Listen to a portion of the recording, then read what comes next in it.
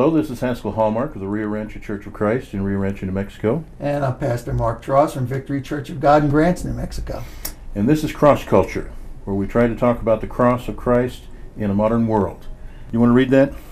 Sure. And even as they did not like to retain God in their knowledge, God gave them over to a reprobate mind and to do those things which are not convenient, being filled with all unrighteousness, fornication, wickedness, covetousness, maliciousness, full of envy, murder, debate, deceit, malignity, whisperers, backbiters, haters of God, despiteful, proud, boastful, inventors of evil things, disobedient to parents, without understanding, covenant breakers, without natural affection, implacable, unmerciful, in knowing the judgment of God, that they which commit such things are worthy of death, not only do the same, but have pleasure in them that do them. Well, I, as I read that, I think a lot of people watching are, are going to be saying, oh, that's so and so, or that's this person. Mm-hmm. And that's usually what we do when we're sitting in the middle of a sermon Mm-hmm. and the preacher's preaching.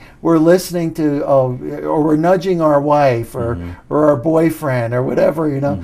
And, and I think what, first of all, we have to, like Jesus said, not criticize those that have a speck in their eye mm-hmm. as much as we need to deal with the inner workings of our heart and mm-hmm. mind. As Paul says, take every thought captive to mm-hmm. some of these issues because it's not just the written word that brings death, the, the black and white letter print of the word. The spirit of it is what Jesus taught about in the Sermon on the Mount. You've heard this said, but I'm saying unto you, such as murder. Mm-hmm. Murder isn't just going out and shooting or stabbing somebody or choking them to death. Mm-hmm. Murder is looking at somebody and hating them in your heart. Mm-hmm. And so it's those type of things as a Christian, we have a much higher standard than, than even what the world holds themselves to or, or us to. And I think that it's critical that the believers out there grab that truth so that we're not just critical of others, that we are self examining about the self control aspect of our own spiritual life. As you said, Christians have gotten a bad rep uh, sometimes because of being so self righteous and judgmental of others. And we're told outright, judge not that you be not judged. And in fact, with what judgment you judge, you will be judged. It's an interesting thing. Uh, Matthew 5, the Sermon on the Mount, you referenced his uh, talking about murder. It's a lot more than just actually killing somebody. Uh, the one that bothers me the most is disobedient to parents. My mom used that against me a lot when I was a kid. By the way, that's not really what that's talking about. It's not talking about your children being disobedient. It's talking about your children when they grow up being disrespectful to parents and disobedient to them in the manner in which they were supposed to be taken care of. And in our society, that might be a good thing too to look at because we have a tendency to try to shut our, our uh, old folks away in homes and not take care of them at home ourselves when really uh, the way it uh, should be is that uh, we should take our parents home. We are God's children. Mm-hmm. How are we towards Him? How do we respond towards Him? Are we obedient to the will of God, to the Word of God? so. And and again, critical of our own brothers and sisters Mm-hmm. when when we're not rightfully uh, dividing the word of truth ourselves. Okay. And and so the what I find here in verse 28 is they did not like to retain God. Mm-hmm. I think sometimes we say, well, I know that's what the Bible says, But, yeah. And well, I don't feel that way about Mm-hmm. that particular portion of Scripture. Or in today's world, Mm-hmm. I don't believe that applies. And so when we get into those gray areas of our own gray matter of Mm-hmm. our brain, we begin to reason out the will of God and the plan of God and the purpose of God. And I think in this case here, or Mm-hmm. when you go to Galatians 5, where it talks about the works of the flesh versus the Mm-hmm. works of the spirit, they're very contrary to one another. As a matter of fact, the natural man can't discern the things of the spirit. Very good. And so some of these words that are written down here are so clear mm-hmm. that there is no argument involved. Mm-hmm. And so we need to understand what it says it says, what mm-hmm. God meant he says, and how we respond to that means we we can uh, shut ourselves off to the will of God. And unfortunately, it says here that God turns us over to our own lusts, let's say. And uh, if we look at this uh, a little more closely, we find also too that it's expressing, as you were just talking about, the difference between the way God thinks and the way we think. Um, a lot of people in the world don't want to come to Christ, don't want to come to God because they see these things and they say, "Man, that's that's pretty harsh. I don't think I want to bother with that, or I don't want to get into it any more detail to find out more." And they literally shut it off before doing so. But you know, it never hurts to have the information, and you can decide what to do with the information after you do it. God's given us that freedom to make that choice. But notice here the couple of phrases here. He says they invent ways of doing evil. Uh, the idea of them inventing ways to do evil. Now he's talking about an, an idolatrous uh, pagan world that basically is doing this at that time. But are we really any different today than they are then? Uh, this is really something that's common to man, isn't it? That Well- we look for ways of doing evil. I know. I know you read the book Pagan Christianity, hmm and uh, when it comes down to things, you'll hear it today. I think more than probably in pagan times. Yeah. we'll hear that. Uh, well, well, that's pagan, Mm-hmm. and and the truth is, uh, just as Jesus made the statement, "You're either for me or against me." Mm-hmm. There's no neutral ground. Anything that is not for him is against him, Mm-hmm. and therefore anything that, that is not of God is pagan. Mm-hmm. And we need to understand that it is that big of a divide, Mm-hmm. and yet it's that close together. You know, you're either for me or against me. There's nothing Mm-hmm. neutral there. Now, at the same time, we're talking to a, uh, an audience that perhaps many are of non-Christian uh, belief systems, and uh, as they look at this, they say, "Well, where's the place for us then?" Uh, not just in the evil that he mentions here, some of whom some people don't think are evil in and of themselves, but can they repent as well? Can they be accepted by God as well? Well, I think what happened with the nation of Israel was they got very exclusive, mm-hmm. and a lot of churches get that way too. Well, we're we're Church of God, you're Church of Christ. There's Baptists, Presbyterians, Methodists. I think there's mm-hmm. well over uh, too many body parts in the body of mm-hmm. Christ. But I think what happens is that we tend to forget the fact that we're called, we're gifted, we're talented. All these things come from God, mm-hmm. and you may not be. That's that's not at all the gospel message. Mm-hmm. Matter of fact, Jesus, Old and New Testament, the Bible says, "My house shall be a house of prayer for all nations, all peoples, all tribes, all mm-hmm. tongues." And yes, he chose the nation of Israel for their purpose exclusively at the time, and he continues to use them. But today, we, we are way beyond the established beginning of what God had laid out in his plan. And that, that includes the church age itself. And it is ex- expanded to all nations, not only through programs like this, but mm-hmm. satellite, internet, all around the world. Mm-hmm. And, and it is for all people. One of the things I find in, in this is that when Jesus was speaking to the, to, uh, the, whether it was the woman at the well or Nicodemus, and we kind of shared this at the beginning part of this mm-hmm. program, he didn't come to condemn the world. He came to save the world. But he said, You're condemned already. And that's a harsh thing for everybody, Jew and Gentile. It's not- And it's just the truth of God. We are, uh, we are fallen away from God. We are steeped in sin from our mother's womb because of Adam and Eve's sin. We have been separated uh, by, of God because of our sin. And so those truths are very hard to deal with, but they are the truth. Mm-hmm. And yet God so loved the world, he gave his son mm-hmm. for the whole world. And that's for everybody in the world. One of the things we're going to do occasionally is to take a scripture like we're doing in Romans right here, but then refer to another place where he says something similar or expands on it a little bit. In 1 Corinthians chapter 6, the Apostle Paul, who, by the way, was sent to the Gentiles to preach the gospel, mm-hmm. so the idolaters were uh, acceptable to God if they came to Christ. And here he talks about that. So in verse 9 of 1 Corinthians 6, do you not know that the wicked will not inherit the kingdom of God?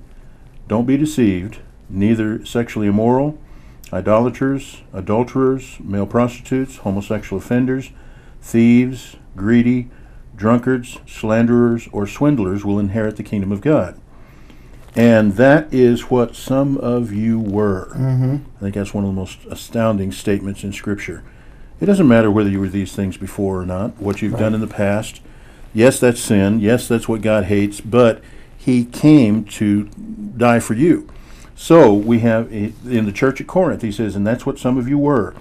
But, remember the word but is one of those things that negates everything before it? That's what you used to be. Now we're going to do something different. But you were washed, you were sanctified, you were justified in the name of the Lord Jesus Christ and by the Spirit of our Lord. Clearly, that did not keep them from being able to come into the kingdom of God. Yes, they can't inherit the kingdom of God in the state they were in, but when they came to Christ, that all changed. And so we have Christ saving the world. Yeah, well, and Paul the apostle, who said, "I am the chiefest of sinners," Yeah. wrote more of the New Testament mm-hmm. than any other writer. Mm-hmm. And as far as books, Luke mm-hmm. wrote more More words. words. Yeah. But th- the thing is that the chiefest of sinners, mm-hmm. you know, or where where the Bible says where sin abounds, grace abounds that much more therefore. Mm-hmm. And and the truth is that nothing, nothing, nothing can separate us from the love of God. And I have to say the exception, because the Bible says our sin separates us from God. Yeah.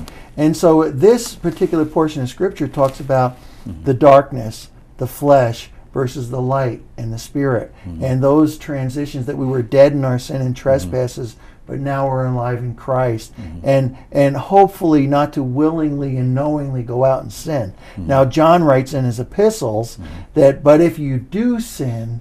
You have an advocate with the Father. Right. And again, it doesn't mean, oh, well, God knows my heart. So I'm going to go out and get drunk or high or whatever.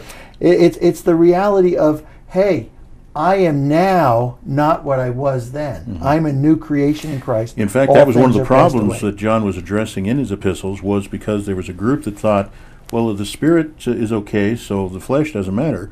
I can go ahead and do in the flesh whatever I want, Right. but the spirit is still cleansed. And uh, John says, no, no, you can't sin anymore when you're when you're in Christ. Doesn't mean you cannot sin. It means you Right. shouldn't sin, really.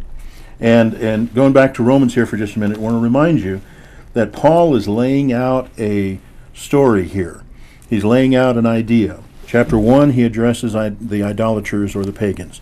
Chapter 2, he addresses the Jews, which, by the way, you're going to see in a minute, he doesn't uh, hold back on them either. Uh-huh. but his whole point is in chapter 3, there are none righteous, no, not one. All have sinned and fallen short of the glory of God. And of course, that leaves us with no hope, right? No, that's the whole point of this story is that there is hope, and he continues with that and shows us that hope then. Well, let me let me say that the rich Okay. Mm-hmm. young ruler coming to Jesus, what must I do to be saved? And and he says, well, good good master or good Lord. Mm-hmm. And Jesus says, why do you call me good? There's none good but God. And as Mm-hmm. you said, it doesn't leave us hopeless. Oh my goodness, I don't have a chance. Yes, we do because of what Jesus did. That's right. And that that's the key. This all comes down to Jesus Mm-hmm. and it focuses on him. He's the one who leads us to the Father. He's the one who forgives all of this sin, all of our trespasses. And and it's so important that we grasp that because without him, we don't have life. One last comment before we go into chapter two on this. Uh, I watched uh, a couple of shows last night. One of which is the new uh, Bible program that's on, which is very dramatized and kind of iffy when you get to the actual truth of the Scripture on it. But it's interesting what they show sometimes. But typically in our movies or our TV programs, your religious people are fanatics or weirdos or in some other way uh, immoral. Uh, they're they're hypocrites or whatever. By the way, I got some of those in my church. How about you? I mean, that's that's just reality I of life. I refuse to answer You refuse. okay, well, never mind then. But uh, the point is, we're people. We're human. We're going to make mistakes. But when you think that all Christians are hypocrites, you're missing the point. We're trying, but we're not perfect. And if all idolaters are just doing evil things, or all uh, pagans are doing evil things, the fact is, there's some pretty nice people out there who are who are not in Christ. right. And we get confused sometimes. The world gets confused, especially. But he's going to make it very plain as he goes through here in Romans. You still have to be in Christ. And that's why being a good person is not good enough. Not good enough. We could never be good enough. If we could, Jesus would have never have had to come to die for our sin and trespasses. Well, just as an example, this this list of evil things. Well, I've never done any of those. You know, I'm not a drunkard. I'm not a gossip. I'm not a, a murderer or an adulterer. You know, okay, fine, good for you. But that's not enough by itself. There's more that he says here, and you've got to follow that as well. All right, now he goes into the Jews, chapter two. God's Brace righteous. yourself. Brace yourself. That's right. You therefore have no excuse. Boy, that's a strong start, isn't it? Mm-hmm. You who pass judgment on someone else, for at whatever point you judge the other, you are condemning yourself, because you who pass judgment do the same things. Now, we're going to see in a minute that this is the Jewish uh, community that he's talking to at this point, but just think about it for a moment that whole point of self righteous judgment. is condemned over and over again by Jesus early in his ministry, all the way through, in the epistles, in the workings of the early church, and the apostles, and the writings. The Holy Spirit was very strong in making sure that message got across that self righteous judgment is not what Christianity is supposed to be about. Well, that's why Jesus came down so hard and heavy on the scribes and the Pharisees, and they they were taking uh, something that God had given them, and they were putting a heavier weight to it, and it was unnecessary in the kingdom of God. Then, on top of that, they were failing to live accordingly themselves. Uh, it, he's going to say it actually in a little bit. He says, uh, you know, if you're guilty of one point in the law, you're guilty of the whole thing. So, we come back here then. Now we know that God's judgment against those who do such things is based on truth. So, when you, a mere man, pass judgment on them and yet do the same things, do you think that you will uh, escape God's judgment? Uh, there's a tendency, it seems, for people who think they're righteous to think that they're not really going to be judged by God the way everybody else is. And of course, he's saying, Come on now. Do you show contempt for the riches of his kindness, tolerance, patience, not realizing that God's kindness leads you towards repentance? Man, that's an indictment in itself. We should realize that we're here because of God's kindness, God's tolerance, God's mercy. Um, we see that in Titus when he talks about the kindness and love of God appearing and how we receive grace then because of the washing of regeneration and renewing of our minds with the Holy Spirit. We see here he's saying, Are you showing contempt for God's riches? It's an amazing thing that he's emphasizing here because he's trying to show just what uh, John said uh, when Jesus, he quoted Jesus in John chapter 3. God so loved the world that he sent his only son to be, uh, uh, be killed for us. But he did so to save us, not to condemn us. Right, and he, and he wishes that none would perish, that all would come to repentance. Those are those are big words, none and all. When we know mm-hmm. that many many are going the way of destruction, mm-hmm. and that only the, the only to enter in the straight and narrow way through Jesus, He is the mm-hmm. only way, the truth, and the life. And so some of those clear pictures of God's heart, again, loving the world that He sent His Son. We can't be exclusive in this world that we live in when we when it comes to the gospel. Well, no matter what church we belong to, there's only one true church. And there's only one head of the church, and that's mm-hmm. Jesus Christ. Those, those are those are biblical truths, whether we agree or disagree. Mm-hmm. That's what God has set in place, and it's so important. Mm-hmm. He wishes that none would perish, that all would come to repentance. And repentance sounds like a big, heavy word, but it means to turn and do differently, to mm-hmm. make it right, to turn towards God. Mm-hmm. And so I, I heard a pastor years ago, uh, somebody had come up to him and said, Oh, I just can't stop lying. And he mm-hmm. says, Yes, you can. Tell the truth. And so we have to understand, but without knowing the truth, we can't be set free. And Jesus is the truth. All right. Romans chapter 2, starting at verse 3. Because of your stubbornness and your unrepentant heart, you are storing up wrath against yourself for the day of God's wrath, when his righteous judgment will, re- will be revealed. God will give to each person according to what he has done. There's the judgment statement of fact. Whatever you do, you're going to be judged accordingly. To those who by persistence in doing good seek glory, honor, and immortality, he will give eternal life. But for those who are self seeking and who reject the truth and follow evil, there will be wrath and anger. There will be trouble and distress for every human being who does evil, first for the Jew, then for the Gentile. Glory, honor, and peace for everyone who does good, first for the Jew, then for the Gentile. God does not show favoritism. Mm-hmm. It's interesting to note that there was a, there's been historically conflicts within the body of Christ, within Christians who didn't understand this fully and treated other peoples uh, harshly, wrongly, as if they weren't uh, people at all in some cases. Uh, our own history in America, uh, taking Africans and bringing them over and making slaves of them and then treating them as if they were animals rather than as people. Not everybody did that who were slave owners, but Or here in New Mexico, the Native Americans. Native Americans. We're not talking about something that's unique to uh, just American history. And we say, well, history shows that that's been the case for thousands and thousands of years. That doesn't excuse it.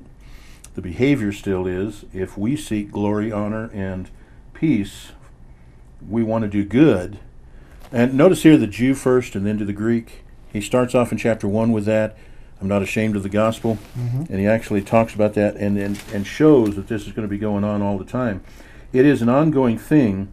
Um, God, uh, it's the power of God for salvation of everyone who believes, first for the Jew and then for the Gentile. The gospel is where the righteousness of God is revealed. Here he's showing people's behavior and he's saying judgment will be, and by the way, that is the righteousness of God, isn't it? The judgment that he's going to do according to our actions. He's not going to judge unrighteously. He's not going to show favoritism either. So nobody has an advantage. Uh, doesn't matter the color of your skin, the color of your eyes. Now, we happen to be blue eyed, white skinned people for the most part. But uh, the fact is, it doesn't matter who we are.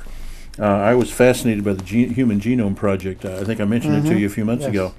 The um, evolutionary biologist insisted that there had to be a significant DNA difference between, say, the pygmies of the Congo and the uh, Watusi or Maasai of uh, northeast uh, Africa. I mean, the Watusi and Maasai are regularly seven and seven and a half feet tall, and the pygmies are rarely over four feet tall. And they said, surely there is a significant difference here. And they did the Human Genome Project and found out that there was no more than a 0.002% or something like that mm-hmm. difference, even between somebody so obviously different in their appearance as those two peoples were. Well, God looks beyond the skin and beyond the structure of the body because He created those in the first place. He doesn't care what the color of the skin is, He cares what the color of the heart is. And Right. the color of the heart's the same in every human being. And it's our heart that He wants. And when I say heart, I'm not talking about the physical pumping organ, I'm talking about the soul, I'm talking about the individual and what He wants.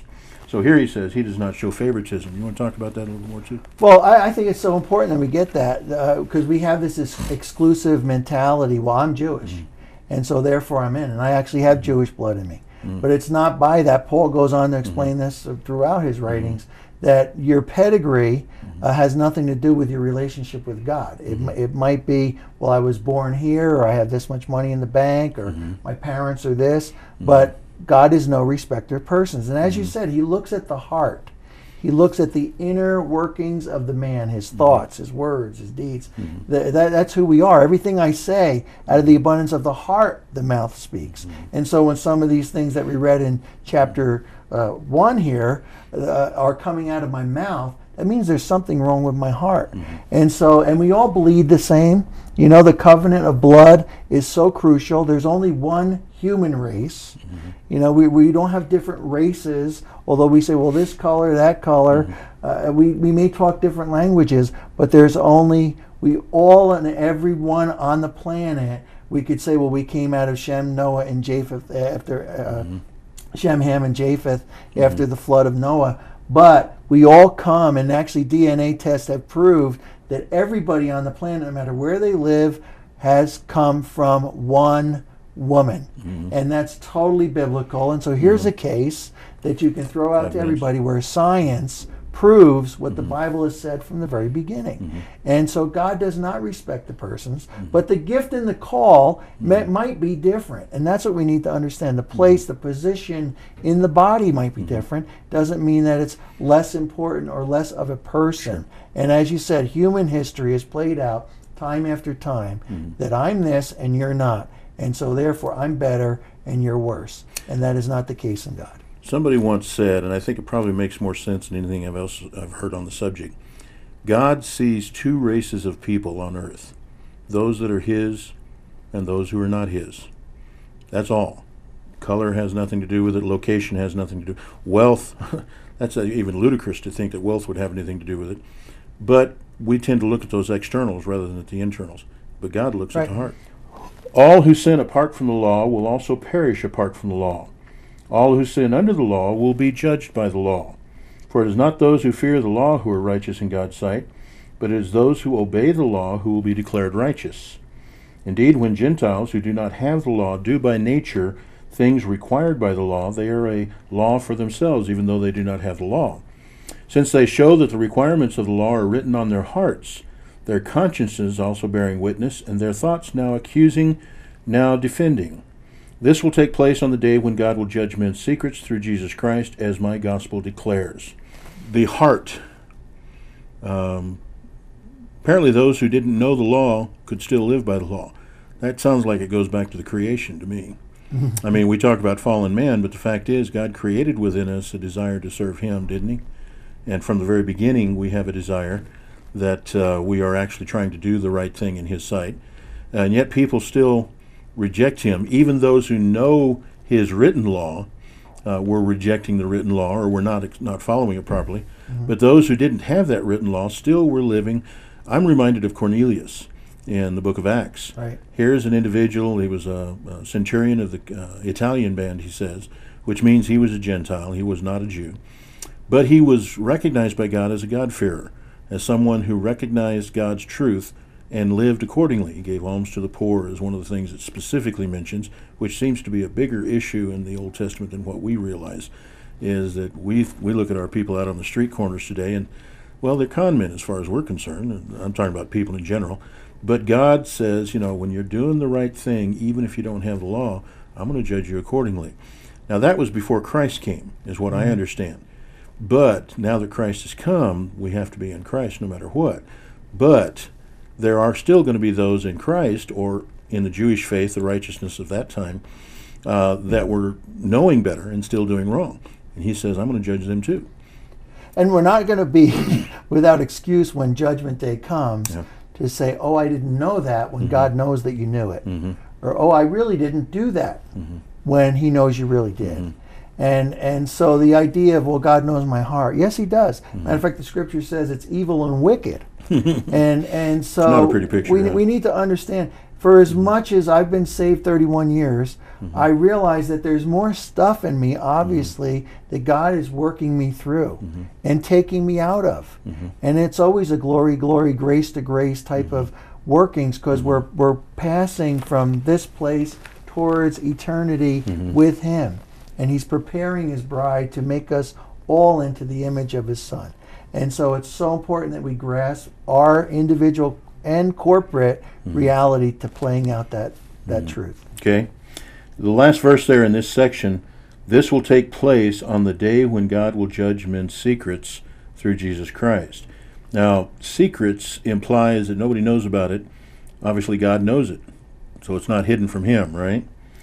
And He says, This will happen as my gospel declares. He's declaring that gospel in a little bit fuller form in these chapters that he's re- writing right here. The Holy Spirit, through him, is giving us that message. Um, there are some people that think there's going to be no judgment for anybody, that uh, we're not really expecting uh, God to be the God of judgment, for example. And more recently, there's been books written saying there's no hell. Yeah. Well, I will, I will just say, not to believe us, believe God. Mm-hmm. Not to believe any any other spirit, any other angel. Even Paul right. talks about. That's right. Mm-hmm. Believe God. This is God's word. Believe that. Act on it. You'll receive it, and you'll move in that, and so will others. Mm-hmm. Okay. They'll see the difference. My name is Haskell Hallmark. I'm with the Rio Rancho Church of Christ in Rio Rancho, New Mexico, and this is Pastor Mark Tross at Victory Church of God in Grants, New Mexico. and this has been Cross Culture, and we pray that you'll come and be with us again. Thank you.